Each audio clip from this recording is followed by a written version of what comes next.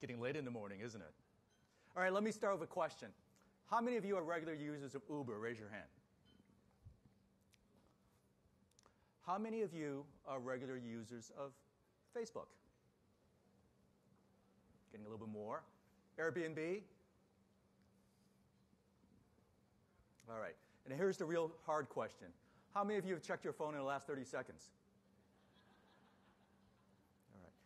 So it's amazing that 10 years ago, almost no one would have raised their hands. Almost none of these capabilities existed 10 years ago.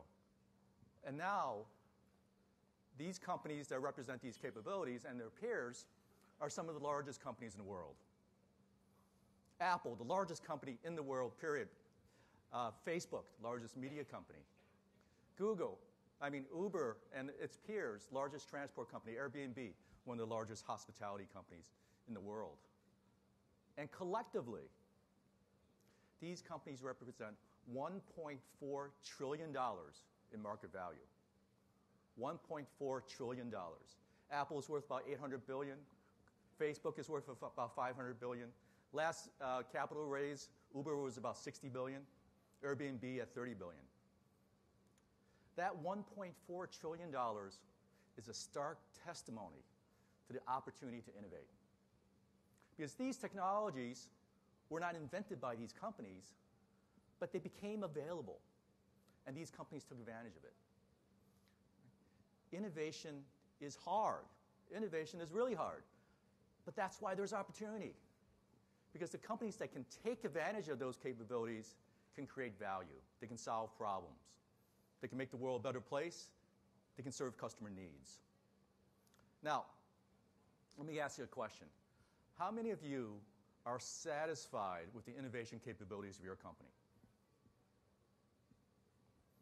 Yeah. And it's not just in healthcare. Innovation's hard all in every industry.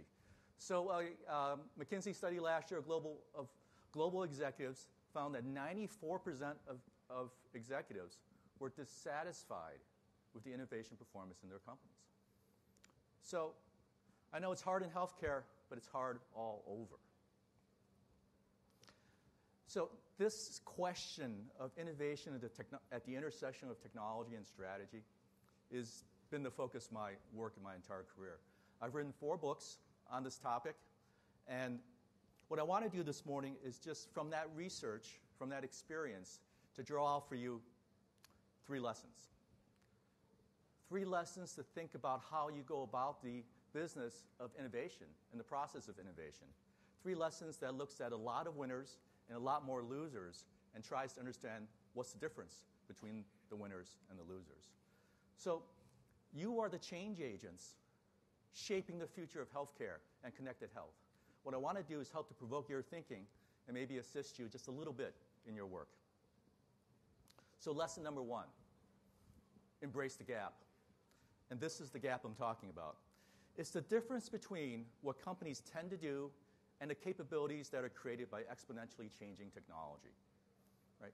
Because it's very human nature for all of us, whether we're in a startup or in a very large company, to focus on the things that we know really well. Successful companies are optimized around their current processes, their current products, the current problem set, their current customers, their current systems. Entire, that represents their culture. And it's human nature to want to change really slowly and not to put at risk what is successful. But as we all know, technology increases in its capability at an exponential rate. So over time, the simple thing that happens is a vacuum, a gap uh, gets created and markets abhor vacuums. And somewhere, somehow, somebody will figure out to, to do something that's possible as opposed to what's being done today. And those new products, those new capabilities are the ones that come in and disrupt marketplaces. They create new categories, they ex- disrupt existing competitors. So, as an example, Kodak literally invented the sensor inside digital cameras. They hold a patent. Yet, for 25 years after the invention of that sensor, they spent all their effort on using digital technology to augment their existing film, chemical, and paper business. It's not that they didn't understand digital, It's not that they weren't creating more and more pens and more revolutions with that technology, it's how they chose to use it. So, as late as the late 1990s, Digi- uh, Kodak spent $500 million on a new camera system that had a digital sensor and a screen. It also used film. Do you know what you could do with that sensor and that, and, and that screen? You couldn't save the picture. You couldn't transfer the picture. What you could do was you could preview the shot and tell the processing plant how many copies you wanted of the prints. Not because they couldn't do those other things, but because they were in a business that was creating 60 to 70% margins on film, chemical, and paper. They're the global leader, monopoly in most countries. So, why would they move from a business model of making 60 to 70% to a business model of selling cameras that was making 15, 20, 30%? And it made all the sense in the world in the short term for them to focus on augmenting their business model as they knew it, staying on that incremental line. But of course, as we all know, other people came in, took that raw technological capability, and put them out of business, literally. And you know, the, the, the annals of history are littered with once great companies that had no problems innovating on that faster, better, cheaper line and were killed by competition that used the same technology differently. So, if you look at the world today, there are a number of technologies that I believe are disrupting every information intensive industry, including yours. And these are the technologies that all the speakers before me have talked about, and these are the technologies that every company in this room are using. But how are you using it? Are you embracing the gap, or are you staying on that incremental line? I believe in order to be successful in digital innovation, you need to embrace the gap. So, lesson number two embracing this technology, looking at the gap, and thinking big. Successful companies are the ones that dare to explore a wide range of possible solutions. They're willing to consider the possibility that somebody else might take new capabilities and put them out of business. They're willing to explore their deepest, darkest doomsday scenarios. And they're also willing to start from a clean sheet of paper, to ask the question what can I do that's needed as opposed to what can I do that's easy for me to do? So let me give you some examples. And what I want to do is first dive into cars and transportation as an example. Cars and transportation for three reasons. One, this is an industry that's, that's been dominated by the same companies for the last hundred years. So, to a certain extent, if disruption can happen in auto, it can happen anywhere, even in healthcare.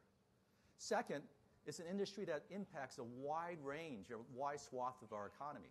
In the US alone, uh, automotive related spending is, is over $3 trillion. Globally, it's over 10 trillion. And there's large ripple effects in the changes in, in, of the technology in this area. And third, of course, we're all customers, so it can relate to this, uh, relate to the, this, this category. So the aspect of the auto business I want to focus on this morning is this one. Each year in the U.S., last year, more than 30,000 people were killed in automotive accidents, involving um, 6.2 million accidents that involved more than 10 million cars. Almost 2.5 million people were injured.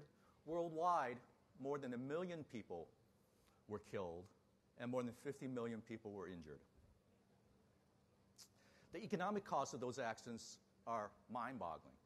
More than $270 billion in the U.S. in direct costs, and if you factor in quality of life, according to the U.S. Highway uh, Safety Administration, more than $870 billion. And the situation is not getting any better. We invest a ton of money into, into safety technology, and it looked like the numbers were plateauing and dropping for a bit. In the last couple years, fatalities have gone up. And 94% of those accidents are due to human error. 94%. And one way to think about that 94% is that it's the poor interaction between the customers and the tools that we sell to them. The poor interaction between customers and the tools that we sell to them. So, how could you think about the technologies that, that we're talking about and address that problem? Well, this is, as you know, one of the things that's going on in, in the automotive industry. There's a, there's a worldwide race to build driverless cars, autonomous vehicles. Combination of analytics, artificial intelligence, cloud computing, Internet of Things. The same technologies that you're grappling with to turn them into driverless cars. Here's a look at how some of this stuff is working right now. Since 2009, our team at Google has been developing fully self driving technology and testing it on real city streets every single day. Until, after more than a million miles, we were ready to take a big step forward. In 2015, we completed the world's first truly driverless ride on public roads. Just a person in a car, no steering wheel, no pedals, navigating everyday traffic. Well, I've never been in Austin, Texas. Now I'm driving in Austin, Texas.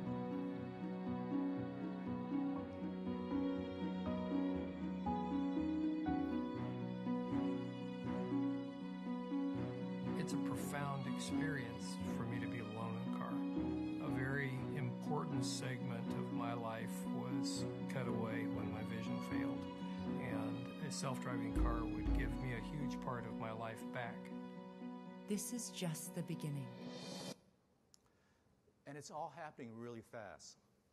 One way of thinking about it is that we spent decades thinking about how we could create technologies to help drivers. Anti uh, lock brakes, collision avoidance systems, um, lane departure warnings, a host of technologies that cost a lot of money to help drivers. That's the incremental line. The exponential line, filling the gap, was to say, let's just take the weak link out of the system and remove the driver. Right? Something that the automotive industry never contemplated. When Google started a self driving car project, some automotive companies took, took out Super Bowl ads to ridicule the effort. And now it's happening really, really quickly. Uh, both GM and Ford have each spent more than a billion dollars acquiring companies to get into this space. Volvo has pledged that by 2020, no one will die in their new cars. And the ultimate proof how many of you driven cars in Boston? Right? Boston is starting the testing of self driving cars. My view is that if you can work in Boston, it can work anywhere. Right? And just yesterday, uh, Delphi, the big automotive um, supplier, bought a little company that's less than two miles away from here in this space, nuTonomy, uh, with less than 100 employees for over $400 million. That's how this space is heating up. So, how can we think big in healthcare? $3.3 trillion, as big as the automotive industry. Now, I don't have to tell you in this room that there are immense opportunities for using technologies, connected health technologies, to make healthcare faster, better, cheaper, to improve quality, reduce costs. You're working on that. That's good. What if you could think even bigger? What if you could ask, like uh, Priscilla Chan and Mark Zuckerberg have done, is what if we could apply what we know? Could we cure all diseases in our children's lifetime? Right? A highly aspirational goal. What could we do if we're focused on that goal? Sort of like eliminating the driver rather than making the car better. But I actually want to spend a few minutes and offer you even a bigger aspiration. As Russ Ackoff, the philosopher and, um, and systems thinkers, observed a number of years ago, the healthcare system in the United States is not a healthcare system. It's a sickness and disability care system. We focus on sick and taking care of the disabled. And because of the business models of the ecosystem, most of the innovation, most of the solutions we build are focused, as Tim Cook of Apple said, on getting the reimbursement. Not necessarily thinking about, in the end, what's the best thing to help the patient. That's the economics of our business. It's hard to avoid. But what if for a moment you could think really big? And here's a edit that Karen Kmetik at my friend the American Medical Association has made, which I think is highly aspirational to Chan and Zuckerberg's question. What if we could prevent and cure all diseases in our children's lifetime? What if we could prevent and cure all diseases in our children's lifetime? And one way of thinking about it is that Karen is talking about that exponential gap, right? Care is faster, better, cheaper, focused on the incremental. We have a whole slew of technologies that you know very well that may enable a different kind of problem to be solved. Can we embrace that gap?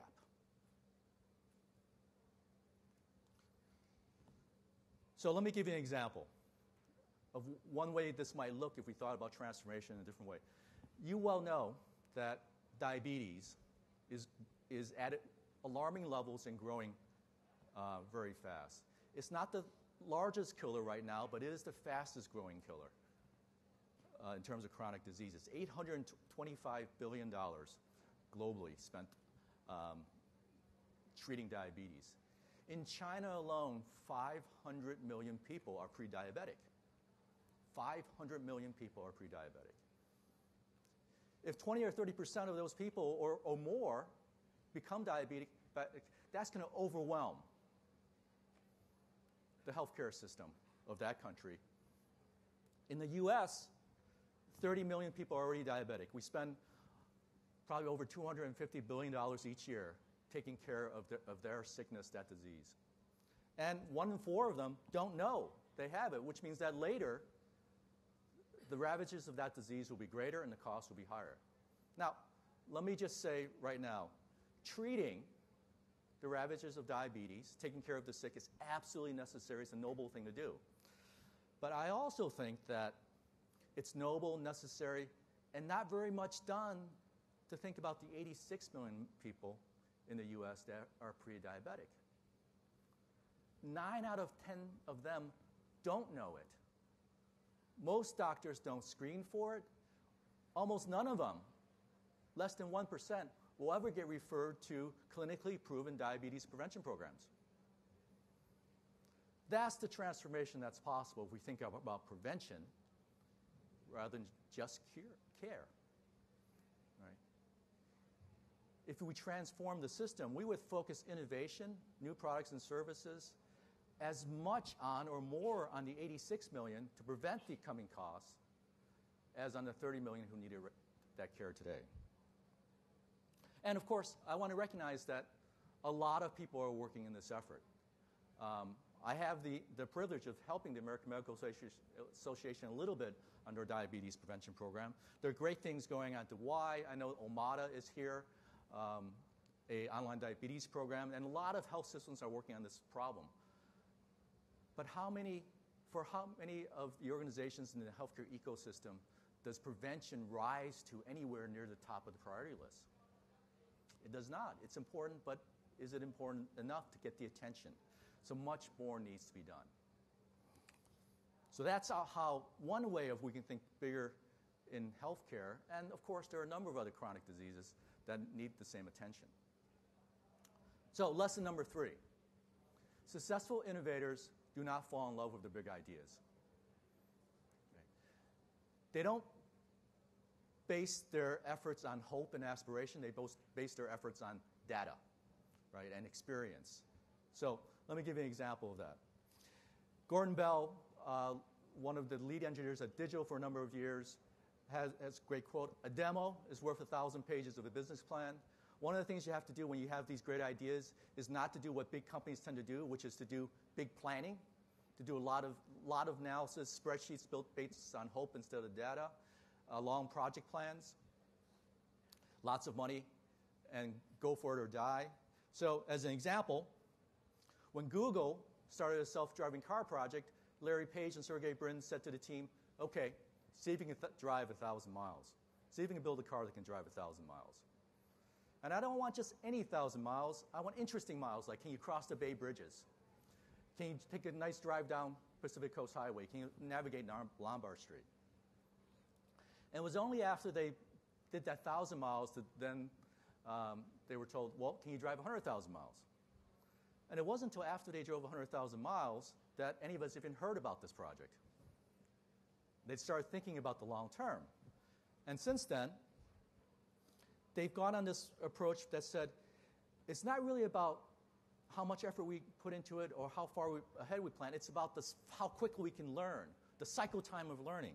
So, as other companies like Delphi, who's jumping into the, the space by buying a 100 person startup for $400 million, Google has gone through seven generations of their cars.